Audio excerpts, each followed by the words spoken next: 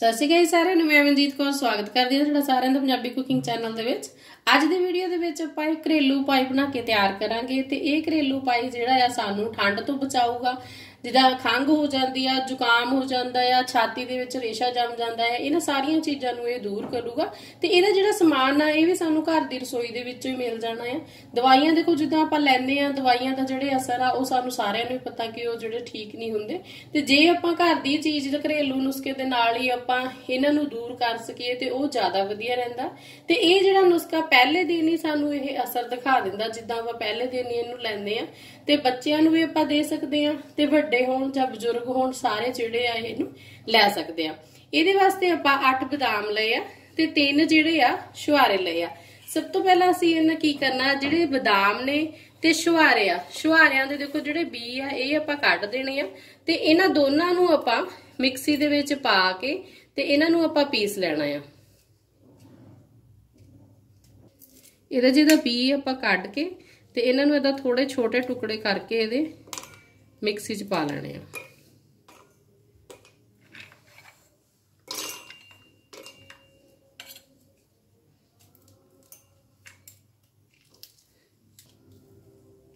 ਇਹਦਾ ਆਪਾਂ ਪਾਊਡਰ ਜਿਹੜਾ ਆ, ਉਹ ਬਣਾ ਕੇ ਤਿਆਰ ਕਰਨਾ ਆ। ਪਾਊਡਰ ਦੇਖੋ ਜਿਹੜਾ ਸਾਡਾ ਬਣ ਕੇ ਤਿਆਰ ਆ, ਇਸ ਤਰੀਕੇ ਦੇ ਨਾਲ ਆਪਾਂ ਇਹਨੂੰ ਇਦਾਂ ਪੀਸ ਲੈਣਾ ਆ।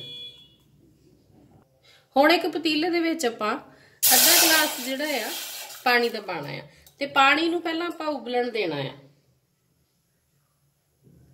ਹੁਣ ਆਪਾਂ ਇਹਦੇ ਵਿੱਚ 8-10 ਜਿਹੜੀਆਂ ਕਾਲੀਆਂ ਮਿਰਚਾਂ ਲੈਣੀਆਂ ਆ। ਕਾਲੀਆਂ ਮਿਰਚਾਂ ਦੇਖੋ ਜਿਹੜੀਆਂ ਆ ਐਂਟੀਆਕਸੀਡੈਂਟ ਹੁੰਦੀਆਂ ਆ ਤੇ ਇਹ ਜਿਹੜੀਆਂ ਆ ਸਾਨੂੰ ਠੰਡ ਤੋਂ ਵੀ ਬਚਾਉਂਦੀਆਂ ਆ। ਤੇ ਇਹਦੇ ਨੂੰ ਆਪਾਂ ਥੋੜਾ ਜਿਹਾ ਜਿੱਦਾਂ ਥੋੜਾ ਜਿਹਾ ਮੋਟਾ ਜਿਹਾ ਇਦਾਂ ਕੁੱਟ ਲਾਂਗੇ ਤਾਂ ਕਿ ਫਿਰ ਜਿਹੜਾ ਇਹਦਾ ਅਸਰ ਆ ਉਹ ਪੂਰੀ ਤਰ੍ਹਾਂ ਜਿਹੜਾ ਆ ਵਿੱਚ ਜਾਵੇ। ਮਿਰਚਾਂ ਜਿਹੜੀਆਂ ਆ ਆਪਾਂ ਪਾਣੀ 'ਚ ਪਾ ਦੇਣੀਆਂ ਆ। 1 ਇੰਚ ਦੇਖੋ ਆਪਾਂ ਅਦਰਕ ਦਾ ਟੁਕੜਾ ਲਿਆ ਆ ਅਦਰਕ ਨੂੰ ਆਪਾਂ ਚੰਗੀ ਤਰ੍ਹਾਂ ਧੋ ਲੈਣਾ ਆ ਤੇ ਇਹਨੂੰ ਛਿੱਲਣਾ ਨਹੀਂ ਹੈਗਾ। ਅਦਰਕ ਦੇਖੋ ਜਿਹੜਾ ਆ, ਇਹ ਸਾਨੂੰ ਖਾਂਸੀ ਹੋ ਗਈ ਖੰਗ ਹੋ ਗਈ, ਰੇਸ਼ਾ ਹੋ ਗਿਆ, ਇਹਦੇ ਤੋਂ ਵੀ ਆਪਾਂ ਨੂੰ ਇਹ ਰਾਹਤ ਦਿੰਦਾ ਆ। ਇਹਨੂੰ ਆਪਾਂ, ਇਹਨੂੰ ਵੀ ਥੋੜਾ ਜਿਹਾ ਆਪਾਂ ਇਹਦਾ ਕੁੱਟ ਲੈਣਾ ਹੈ ਚਾਹੇ ਤਾਂ ਤੁਸੀਂ ਕੱਦੂਕਸ ਕਰਕੇ ਵੀ ਇਹਨੂੰ ਪਾ ਸਕਦੇ ਹੋ ਜਾਂ ਇਹਨੂੰ ਕੁੱਟ ਵੀ ਸਕਦੇ ਹੋ। ਕੁੱਟਿਆ ਹੋਇਆ ਜਿਹੜਾ ਅਦਰਕ ਆ, ਆਪਾਂ ਪਾਣੀ 'ਚ ਪਾ ਦੇਣਾ। ਦੇਖੋ, ਇੱਕ ਚਮਚਾ ਇਹ ਅਦਰਕ ਦਾ ਬਣਿਆ ਆ। ਜਿੱਦਾਂ ਹੁਣ ਆਪਾਂ ਇਹਨੂੰ ਕੁੱਟ ਲਿਆ ਆ, ਤੇ ਜੇ ਤੁਸੀਂ ਕੱਦੂਕਸ ਕਰਦੇ ਹੋ, ਤਾਂ ਕੱਦੂਕਸ ਕਰਕੇ ਵੀ ਤੁਸੀਂ ਇਹਨੂੰ ਪਾ ਸਕਦੇ ਹੋ। ਹੁਣ ਅਸੀਂ ਲੈਣੀ ਆ ਕੱਚੀ ਹਲਦੀ। ਦੇਖੋ, ਕੱਚੀ ਹਲਦੀ ਜੇ ਤੁਹਾਡੇ ਕੋਲ ਨਾ ਹੋਵੇ, ਤਾਂ ਤੁਸੀਂ ਜਿਹੜੀ ਆ ਦੂਜੀ ਹਲਦੀ ਵੀ ਲੈ ਸਕਦੇ ਹੋ। ਉਹਦਾ ਤੁਸੀਂ ਜਿੱਦਾਂ ਆ, ਇੱਕ ਚੌਥਾਈ ਚਮਚਾ ਜਿਹੜਾ ਆ, ਹਲਦੀ ਦਾ ਲੈ ਲੈਣਾ ਆ। ਤੇ ਇਹ ਵੀ, ਇਹਨੂੰ ਵੀ ਆਪਾਂ ਛਿੱਲਣਾ ਨਹੀਂ ਹੈਗਾ। ਚੰਗੀ ਤਰ੍ਹਾਂ ਧੋ ਕੇ ਇਹਨੂੰ ਵੀ ਹੁਣ ਆਪਾਂ ਇਦਾਂ ਮੋਟਾ-ਮੋਟਾ ਕੁੱਟ ਲੈਣਾ ਆ। ਤੇ ਹਲਦੀ ਦੇਖੋ ਜਿਹੜੀ ਆ, ਹਲਦੀ ਦੀ ਤਸੀਰ ਜੇ ਆਪਾਂ ਜਿੱਦਾਂ ਹੁਣ ਗਰਮ ਦੇ ਵਿੱਚ ਇਹਨੂੰ ਉਬਾਲਦੇ ਪਏ ਆ, ਤਾਂ ਇਹਦੀ ਤਸੀਰ ਫਿਰ ਗਰਮ ਹੋਊਗੀ। ਜੇ ਆਪਾਂ ਇਹਨੂੰ ਕਈ ਵਾਰੀ ਹੁੰਦਾ ਕਿ ਠੰਡੇ ਦੁੱਧ ਦੇ ਵਿੱਚ ਲੈਂਦੇ ਆ, ਤਾਂ ਫਿਰ ਇਹਦੀ ਤਸੀਰ ਜਿਹੜੀ ਆ, ਠੰਡੀ ਹੋ ਜਾਂਦੀ ਆ।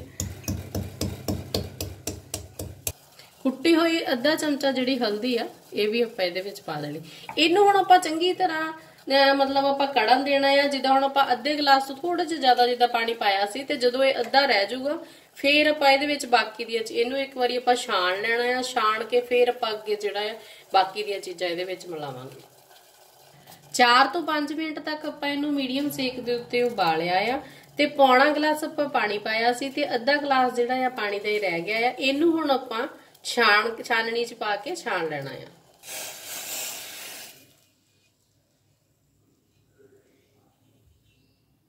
ਉਸੇ ਪਤੀਲੇ ਦੇ ਵਿੱਚ ਆਪਾਂ ਇਹ ਪਾਣੀ ਪਾ ਦੇਣਾ ਹੈ।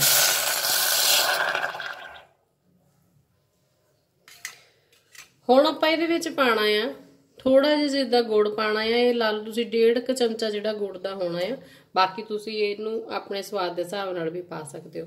ਦੋ ਚੁਟਕੀ ਇਹਦੇ ਵਿੱਚ ਪਾਣਾ ਆ ਕਾਲਾ ਲੂਣ। ਇਹਨੂੰ ਆਪਾਂ ਪਹਿਲਾਂ ਉਬਾਲਾਂਗੇ ਇੱਕ ਵਾਰੀ। ਤਾਂ ਕਿ ਗੁੜ ਜਿਹੜਾ ਆ ਸਾਡਾ ਚੰਗੀ ਤਰ੍ਹਾਂ ਜਿਹੜਾ ਘੁਲ ਜਵੇ।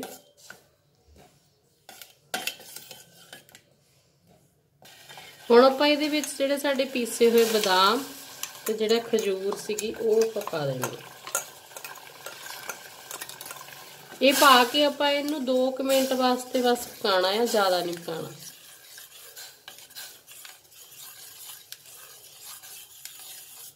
ਖਜੂਰ ਤੇ ਜਦੋਂ ਆਪਾਂ ਬਦਾਮ ਵਿੱਚ ਪਾ ਦੇਣੇ ਆ, ਉਸ ਤੋਂ ਬਾਅਦ ਇਹਨਾਂ ਨੂੰ ਇਦਾਂ ਤੁਸੀਂ ਲਗਾਤਾਰ ਹਿਲਾਣਾ ਵੀ ਆ। ਤੇ ਇਹਦੀ, ਦੇਖੋ ਇਹਦੇ, ਇਹਨੂੰ ਇੱਕ ਵਾਰੀ ਜਿੱਦਾਂ ਤੁਸੀਂ ਬਣਾ ਕੇ ਦੇਖਦੇ ਹੋ, ਜਿਹਨੂੰ ਵੀ ਠੰਡ ਦੇ ਵਿੱਚ ਇਦਾਂ ਜਿੱਦਾਂ ਛਿੱਕਾਂ ਲੱਗ ਜਾਂਦੀਆਂ ਆ ਤੇ ਠੰਡ ਲੱਗ ਜਾਂਦੀ ਆ, ਛਾਤੀ ਦੇ ਵਿੱਚ ਜਿੱਦਾਂ ਜੰਮ ਜਾਂਦੀ ਰੇਸ਼ਾ, ਉਹਦੇ ਵਾਸਤੇ ਜਿੱਦਾਂ ਬਹੁਤ ਹੀ ਵਧੀਆ ਜਿੱਦਾਂ ਉਪਾਅ ਆ। ਇੱਕ ਵਾਰੀ ਇਹਨੂੰ ਤੁਸੀਂ ਜ਼ਰੂਰ ਬਣਾ ਕੇ ਦੇਖਿਓ ਤੇ ਫਿਰ ਤੁਹਾਨੂੰ ਪਹਿਲੇ ਦਿਨ ਹੀ ਜਿੱਦਾਂ ਇਹਦਾ ਅਸਰ ਜਿਹੜਾ ਆ, ਨਜ਼ਰ ਆਊਗਾ। ਤੇ 2 ਮਿੰਟ ਪਕਾ ਕੇ ਫਿਰ ਆਪਾਂ ਇਹਨੂੰ ਥੱਲੇ ਤਾਰਾਂਗੇ। 2 ਮਿੰਟ ਹੋ ਗਏ ਆ, ਗੈਸ ਆਪਾਂ ਬੰਦ ਕਰ ਦੇਣੀ, ਇਹਨੂੰ ਆਪਾਂ ਥੱਲੇ ਤਾਰ ਲੈਣਾ ਹੈ।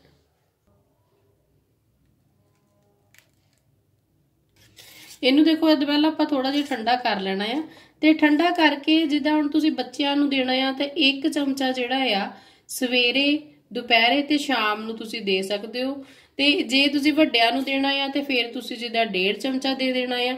ਤੇ ਇਹਨੂੰ ਬਣਾ ਕੇ ਤੁਸੀਂ ਤੁਸੀਂ ਕਿਸੇ ਵੀ ਡੱਬੀ ਦੇ ਵਿੱਚ ਇਹਨੂੰ ਠੰਡਾ ਕਰਕੇ ਪਾ ਕੇ ਰੱਖ ਲੈਣਾ ਹੈ ਤੇ 15 ਦਿਨ ਤੱਕ ਤੁਸੀਂ ਇਹਨੂੰ ਬਣਾ ਕੇ ਰੱਖ ਸਕਦੇ ਹੋ। ਤੇ ਇਹਨੂੰ ਤਿੰਨ ਟਾਈਮ ਲਓ ਤੇ ਪਹਿਲੇ ਦਿਨ ਹੀ ਜਿੱਦਾਂ ਇਹਦਾ ਲੈਣ ਦੇ ਨਾਲ ਇਹਦਾ ਜਿਹੜਾ ਅਸਰ ਆ ਸ਼ੁਰੂ ਹੋ ਜਾਂਦਾ ਤੇ ਫ਼ਰਕ ਸਾਨੂੰ ਜਿਹੜਾ ਨਜ਼ਰ ਆਉਂਦਾ ਆ ਖਾਣ ਦੇ ਨਾਲ। ਇਸੇ ਤਰੀਕੇ ਦੇ ਨਾਲ ਤੁਸੀਂ ਇਹਨੂੰ ਬਣਾਇਓ ਤੇ ਖਾਇਓ। ਵੀਡੀਓ ਪਸੰਦ ਆਈ ਵੀਡੀਓ ਨੂੰ ਲਾਈਕ ਕਰਿਓ ਸ਼ੇਅਰ ਕਰਿਆ ਕਰੋ ਵੀਡੀਓ ਨੂੰ ਫੈਮਿਲੀ ਔਰ ਫਰੈਂਡਸ ਦੇ ਨਾਲ। ਚੈਨਲ ਤੇ ਜੇ ਪਹਿਲੀ ਵਾਰੀ ਆ ਕੇ ਵੀਡੀਓ ਦੇਖਦੇ ਹੋ ਤਾਂ ਚੈਨਲ ਨੂੰ ਸਬਸਕ੍ਰਾਈਬ ਜ਼ਰੂਰ ਕਰਕੇ ਜਾਇਓ। ਘੰਟੀ ਦਾ ਬਟਨ ਜ਼ਰੂਰ ਦਬਾ ਲਿਓ ਅਗਲੀ ਵੀਡੀਓ ਦੇਖਣ ਦੇ ਲਈ। ਕਮੈਂਟ ਕਰਕੇ ਜ਼ਰੂਰ ਦੱਸਿਓ ਕਿ ਵੀਡੀਓ ਤੁਹਾਨੂੰ ਕਿਵੇਂ ਦੀ ਲੱਗੀ। ਵੀਡੀਓ ਦੇਖਣ ਲਈ ਬਹੁਤ ਬਹੁਤ ਧੰਨਵਾਦ।